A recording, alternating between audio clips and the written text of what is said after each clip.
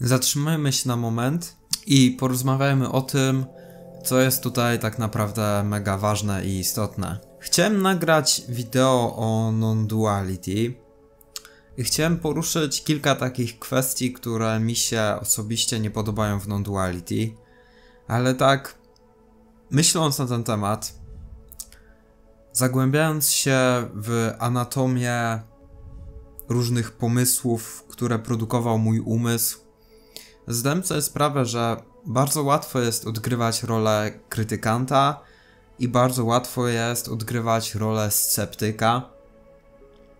No i tak muszę wam przyznać, że dosyć niechętnie nagrywam to wideo pod tym kątem, że nie chcę tutaj się wypowiadać negatywnie i nie chcę nikogo oczerniać ani krytykować. Więc w sumie w ostatnim momencie postanowiłem, że co nieco zmienię kontekst tego nagrania i poopowiadam wam o tym, co tu jest tak naprawdę ważne.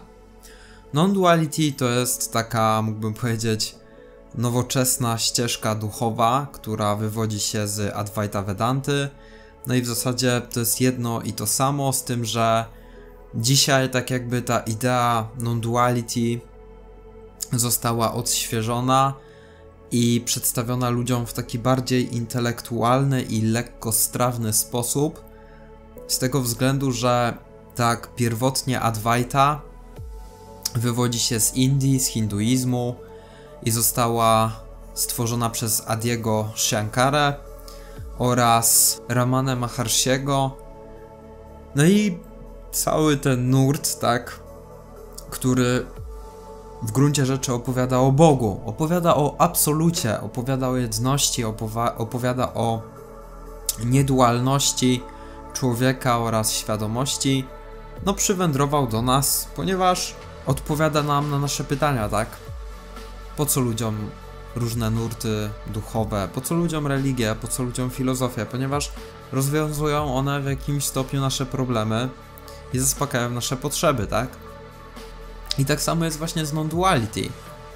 Wiecie, ja wam powiem szczerze, że ja przez bardzo długi okres mojego życia byłem ateistą, chociaż y, wychowywano mnie w wierze katolickiej, to i tak ciężko mi było uwierzyć w jakiegokolwiek Boga. No i ze względu na to, że mam styczność z internetem i. O, Asia przyszła. ze względu na to, że mam styczność z internetem, to zapoznałem się z non-duality, no i zacząłem mieć styczność z non-duality. Wiecie, filmy Moziego, filmy Niti, nagrania Eckharta Tolle, no bo nie każdy jest świadomy tego, ale Eckhart Tolle w gruncie rzeczy to również jest non-duality.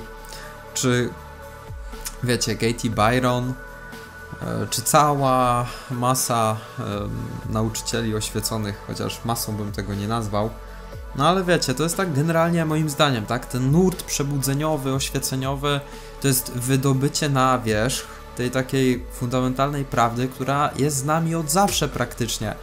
No bo o czym mówił Jezus, o czym mówił Buddha i o czym mówili ci wszyscy duchowi ludzie, którzy zapoczątkowali wielkie religie, jak nie o tym samym, tak? Jesteś Bogiem. Bóg jest tutaj. Tutaj. Ta chwila obecna to jest Bóg. Ty jesteś Bogiem. Nie istnieje żaden tam Bóg oddzielny od ciebie samego. Gdy obserwujesz siebie, widzisz nieskończoność, widzisz puste nic. Gdy zagłębiasz się w rzeczywistości, natrafiasz na czystą rzeczywistość, na czyste poznanie siebie. Więc czy idziesz w tym kierunku poznania Boga, w cudzysłowie obserwatora, czy idziesz w, w kierunku poznania rzeczywistości materialnej, to i tak natrafiasz na jedno i na to samo. I wiecie, i o tym nawet mówi fizyka kwantowa, i wszystkie takie nowoczesne, materialistyczne nauki, które starają się poznać rzeczywistość i ją zobiektywizować, tak? No bo nie wiem, czy wy jesteście w ogóle tego świadomi, ale sama nauka, nauka, współczesna nauka, niczym się nie różni od religii. Nasze paradygmaty naukowe, wiecie, czy to psychologia, e, czy, czy, czy, czy, czy fizyka, to wszystko to są pudełka, to są jak religie, takie pudełka myślowe, których się uczymy na pamięć, na blachę, przy pomocy, wiecie, tam koncepcji słów i potem wydaje nam się, że tak wygląda rzeczywistość, no bo rzeczywistość zawsze jest dokładnie taka, jaką myślimy, że jest, tak? Więc jak patrzymy na rzeczywistość przez pryzmat naszej wiedzy, czy przekonań, czy uprzedzeń, to ona dokładnie tak wygląda. I wiecie, e, ostatnio dostałem taką propozycję od jednego z widzów, abym nagrał film na temat non-duality. No i wiecie, ja już generalnie kiedyś nagrywałem film na temat ciemnej strony duchowości, tak? Więc mógłbym tutaj powiedzieć wam ciemną stronę non-duality. Z tym, że co z tego, że ja na przykład pokażę palce i powiem, no non-duality to zło, bo tutaj, tutaj, tutaj, tutaj, tutaj ktoś się tam myli, czy mówi to, czy tamto. Eee, kiedy wiecie, to byłaby kwestia tego, że moje ego rozpoznaje coś w ego innych ludziach, że coś jest nie tak i na dobrą sprawę, czy to wnosi jakąkolwiek wartość do naszego życia? Po części może, ale coś mi mówi, że nie do końca i w sumie wątpię w to. I wiecie, ja na przykład kiedyś pamiętam w nagraniu o LSD, to mi się tak ostatnio przypomniało, że powiedziałem o tym, że. Ee, tam chyba w jakiś sposób skrytykowałem czy oceniłem Kartatole. Ale miałem tutaj na myśli tą taką ludzką tendencję do upraszczania duchowości, że wiecie, że skoro życie to jest chwila obecna, to wcale już nie musimy planować, wcale nie musimy wyznaczać celów, już nawet nie trzeba medytować, wiecie. Miałem tutaj na myśli to, że e, współczesna duchowość zamienia się w taki duchowy McDonald's, gdzie te wszystkie duchowe koncepcje zostają mega uproszczone i podawane ludziom na tacy. Wiecie, już nie musisz medytować, już nie musisz robić jogi, już nie musisz kontemplować, self-inquiry też nie musisz robić, ponieważ to wszystko jest tutaj i cała praca nad sobą to jest ściema, to jest zło szatana w ogóle i nic już nie musisz robić. I wiecie, i to miałem na myśli, tą taką ludzką tendencję, taką egoistyczną, do upraszczania wiedzy, szczególnie tej duchowej, i wiecie, do pewnego rodzaju idealizacji nauczycieli, bez zwrócenia uwagi na samego siebie i tego, co ty masz osobiście jeszcze do przepracowania i przerobienia. Bo wiecie, to jest jeden z aspektów właśnie duchowości, szczególnie non-duality, że szczególnie jak ktoś osiądzie na laurach i stwierdzi, że to przekonanie, że wszystko jest iluzją, że życia nie ma, że ty jesteś nikim, że wiecie, że to jest wszystko świadomość, nie ma kontroli. Jeżeli tego typu przekonania zawładną waszym umysłem i waszym życiem, to staniecie się takimi bezbronnymi ofiarami życia. I ja wiem o tym, bo ja byłem w takim miejscu w moim życiu i poznałem wielu ludzi, którzy osiadli na laurach w takich właśnie przekonaniach odrzucając, wiecie, materializm, odrzucając pracę, od, odrzucając zarabianie pieniędzy, no i zaczęli przez to cierpieć, tak? Czyli mamy taką tendencję w duchowości do wypierania się świata materialnego, że wiecie, że ego to zło, że pieniądze to zło, że system to zło, że wiecie, praca to zło i takie wypieranie się tego wszystkiego, a potem no zazwyczaj z własnego doświadczenia zauważyłem, że ludzie, którzy mają takie przekonania, po prostu później cierpią przez to, tak? Bo się zamykają na na społeczeństwo, na swoje własne potrzeby, na to, jak działa właśnie system ekonomiczny. Wiecie, system ekonomiczny wy, wyewoluował na przestrzeni lat i jego celem jest służenie nam.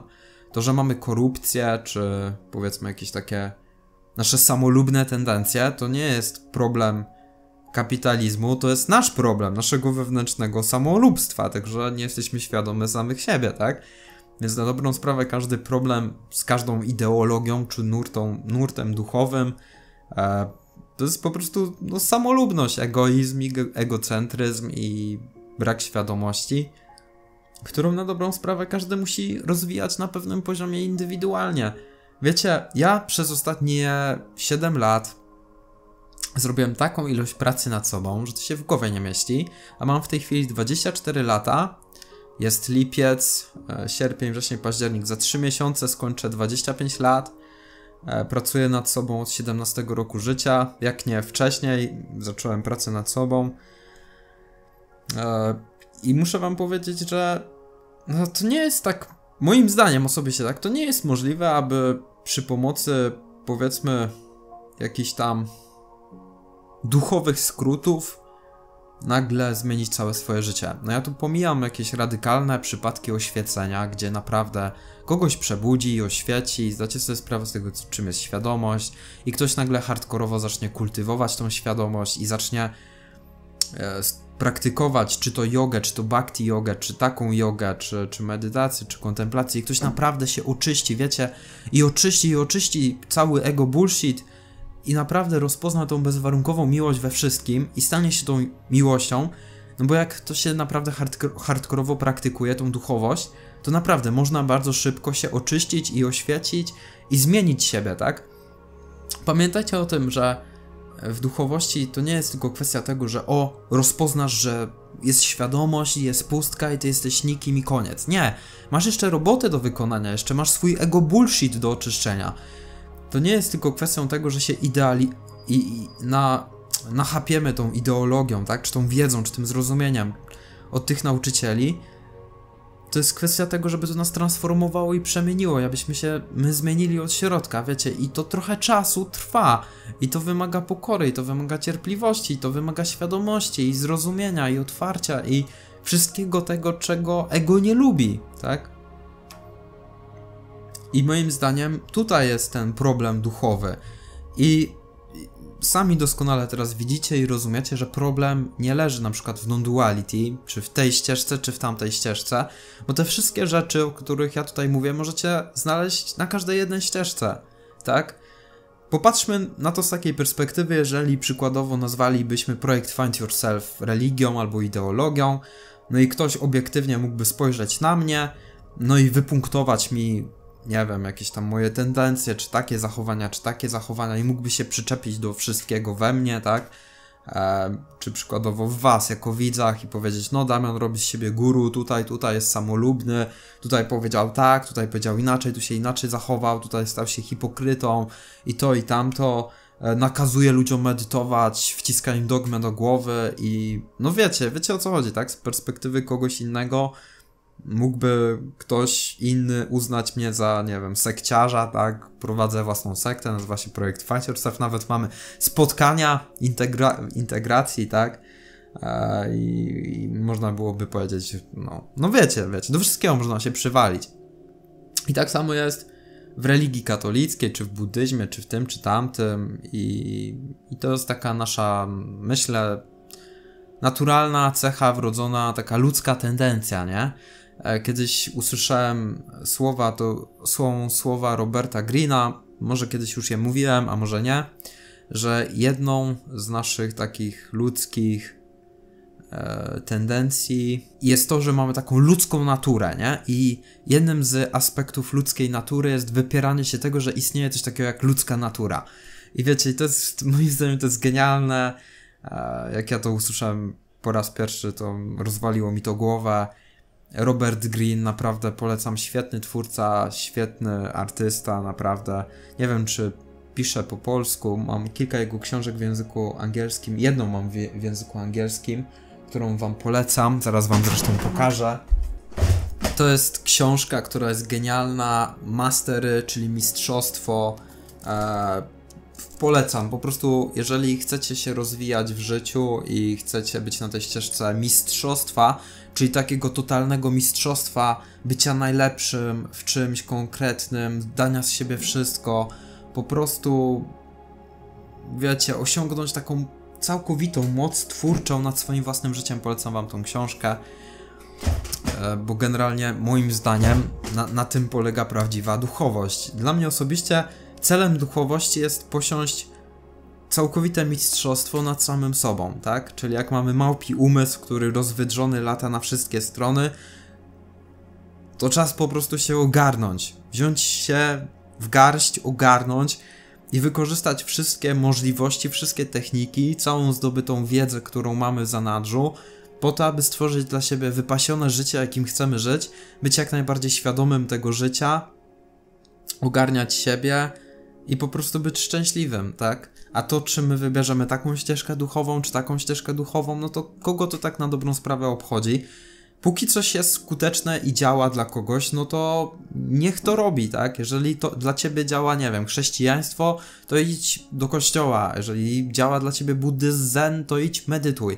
Jeżeli działa dla ciebie kundalini yoga, to rób jogę i rób wizualizację i rób pranayamy. Jeżeli wolisz non-duality, to jeździ na satsangi, oglądaj filmy, nagrania, na pewno ci bardzo dużo pomogą. Jeżeli nie chcesz medytować i lubisz teorię Eckharta Tolle i jego ideę teraźniejszości, to żyj tu i teraz w swoim własnym spokoju i wszystko będzie ok, tak? Oczywistym jest, że życie jest procesem, wszyscy dojrzewamy. Ja sam osobiście dojrzewam z dnia na dzień. Jeżeli spojrzycie na moje filmy z przeszłości, a spojrzycie na te filmy, które nagrywam teraz, to wiecie, ja wam szczerze powiem, że e, ja nawet osobiście nie wracam do swoich filmów z przeszłości, bo niektórych ich się wstydzę, a czasami mam takie poczucie, że no po prostu nie, nie mam ochoty tego oglądać, tak? Bo już też zmieniło się moje myślenie i jest mi z tym ok, tak?